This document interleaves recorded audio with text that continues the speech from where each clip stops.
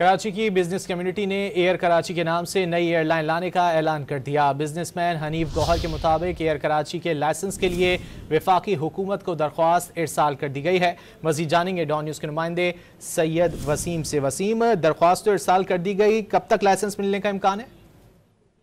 जी, बिल्कुल। देखिए, जो बताते हैं, वो नई एयरलाइन का नाम एयर कराची इसको security exchange commission of Pakistan ने रजिस्टर्ड कर लिया है।